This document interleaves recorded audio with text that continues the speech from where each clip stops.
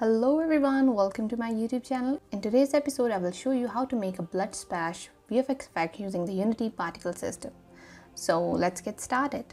Start by creating a new particle system and rename it to blood underscore particle system. Okay, now we can reset its position to 0 and 0 or also set the rotation to 0. After that, inside the renderer, set the max particle size to 3. Now we will need a light smoke texture for this effect. I have this one for reference. You can create it yourself or just find it on the internet. I will show you how to create it. So for that, let's head back to Photoshop and create a new file.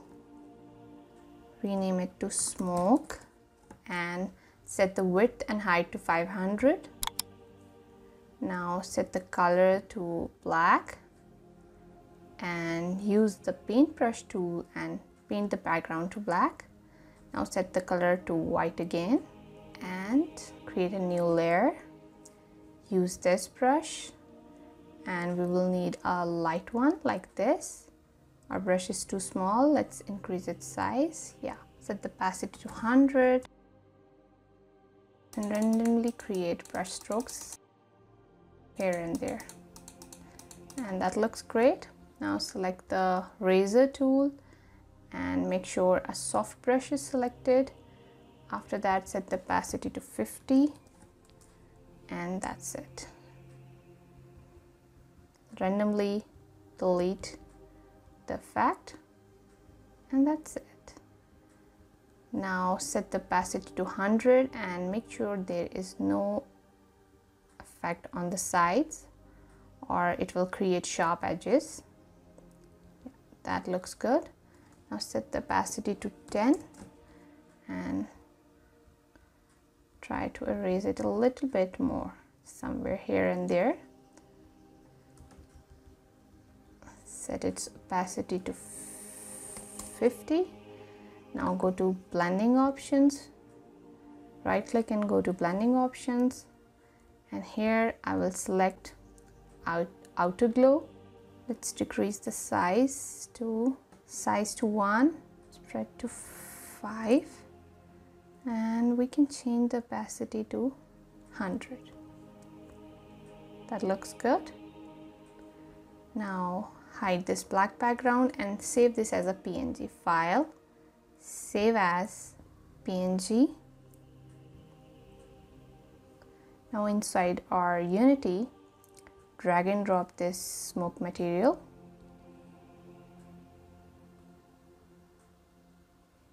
Set alpha is transparent and hit apply. And you can see this smoke. I think it is a bit too bright okay we will see it later on. Create a new material and rename it to smoke underscore matte and set the shader to legacy shader particles additive drag and drop this smoke material drag and drop this here and you can see smoke clouds. After that let's turn down it, its opacity to 50 that's better. After that set the duration to 1 and start lifetime to 0.7 start speed to 0 and start size to random between two constants and the value will be 1 and 2 start rotation to random between two constants the value will be 0 and 360 we will select the color as red maybe something like this. Let's change the shader. I think we should select alpha blended. Yeah that looks much better. Reduce the opacity go to emission and set the emission to 5 we will uncheck shape and inside color over lifetime. We will add a new keyframe here and set this one to 0 let's change the main camera to skybox so that we can see it clearly.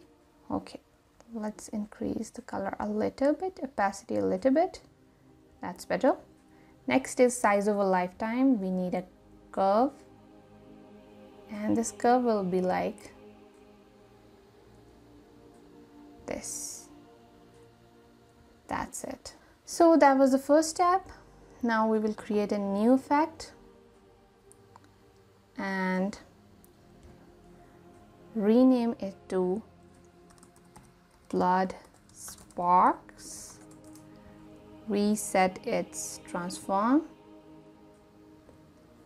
set its max particle size to 3 and for this we will need a texture like a point of light.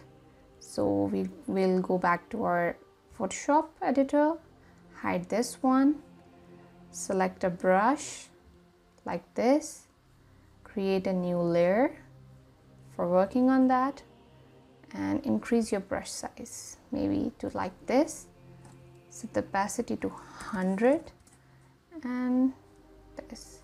Now inside the middle of the screen just click once and your point of light is ready.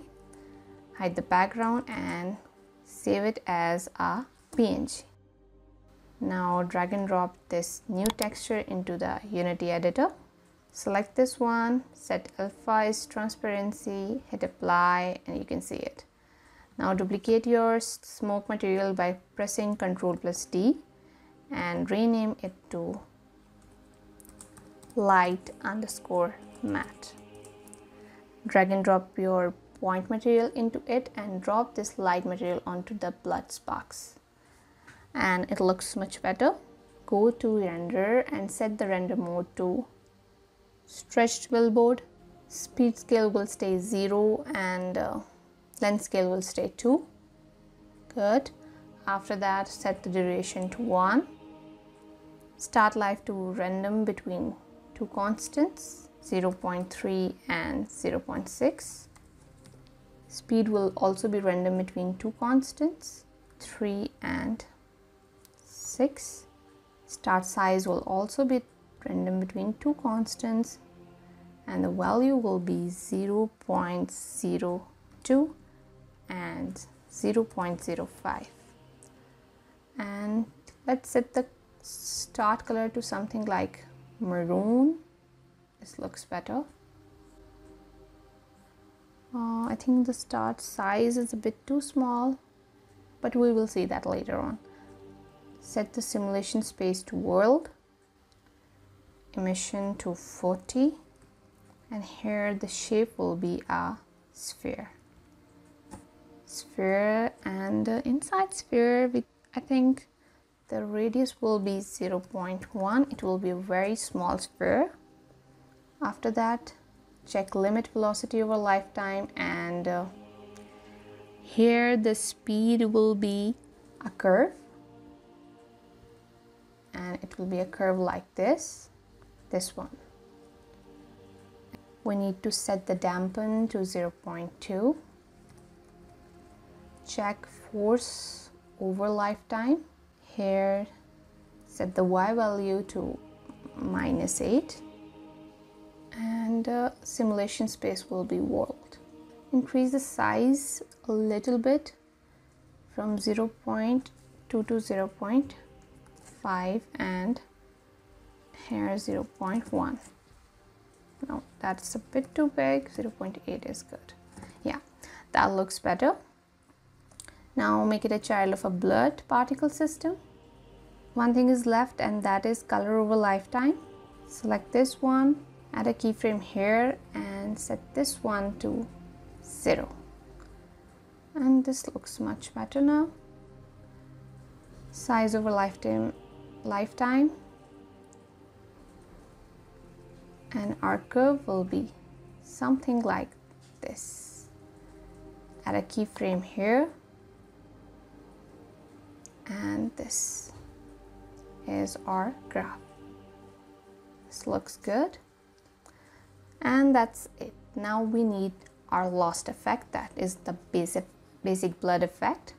So create a new effect and rename it to blur reset its transform set the max particle size to 3 and render to stretch billboard speed scale to 0 and length scale to 0.9 now for this we need a texture sheet. I have one here and we will create one using this reference. So this is how we will create our blood effect inside Photoshop I will create a new layer and hide this older one turn on the black background. And here let's drag and drop this effect to give us a reference.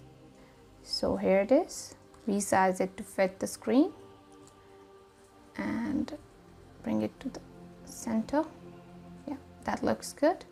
And we'll see how we can create this effect I am changing its opacity to just 20 so that we can see it will very less.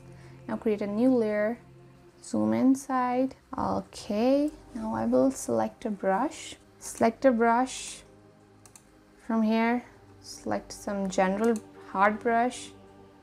Resize it to very small maybe 7 and hardness to 100% and now as the color is already selected to red we will start our painting. So I have this image here for reference and here I have new layer on which I will paint and this is a random paint. Okay I will reduce the size of my uh, brush in each one. Okay let's reduce the size to 5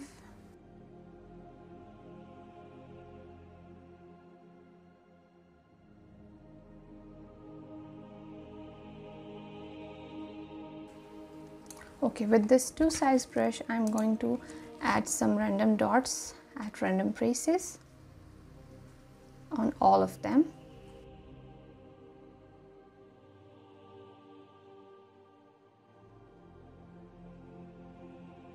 Okay so we have this one at the bottom. So let's draw it with two size brush nothing much needed just draw it roughly hide the background and save it as a png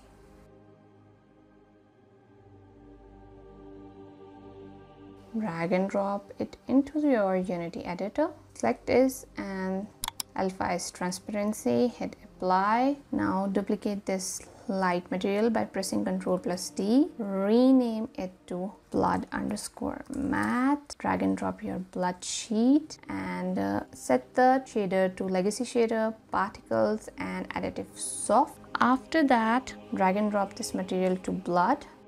and I think additive soft is not the best choice for this one. Particles we will try all of them. Alpha Blended is a better choice. Okay, now we will set the duration to 1. Looping will set true.